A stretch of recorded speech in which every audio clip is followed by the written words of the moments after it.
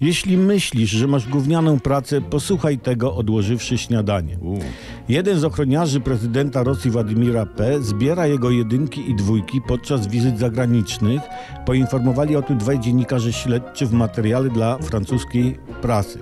Chodzi o to, żeby obcy wywiad, a takich obcych wywiadów nie brak, żeby on nie przechwycił kupy Putina i nie przeanalizował składu dwójki prezydenckiej, bo informacje zawarte w dwójce prezydenta Rosji są tajne. Dlatego, że z nich można dużo wyczytać, na co jest chory, na jakie produkty jest uczulony i tak dalej.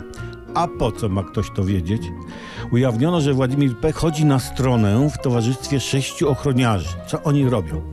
Że tak jeden sprawdza, czy nie ma bomby, drugi sprawdza tego pierwszego, czy nie przeoczył bomby, a trzeci sprawdza tego drugiego, czy dobrze sprawdził pierwszego.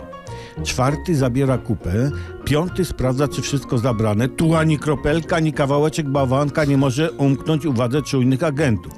Szósty zaś stoi przed drzwiami i cieszy się, że nie musi robić tego, co pozostałych pięciu.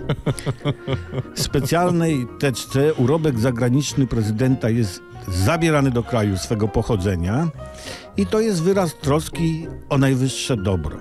A tam w Rosji być może te dwójeczki są zbierane na jedną kupę, by stać się obiektem kultu, bo po podboju świata przez Putina zbuduje mu się z tego zasłużony pomnik. Może tak jest, może, ale może też tak być, że oni po prostu za granicą kradną papier toaletowy.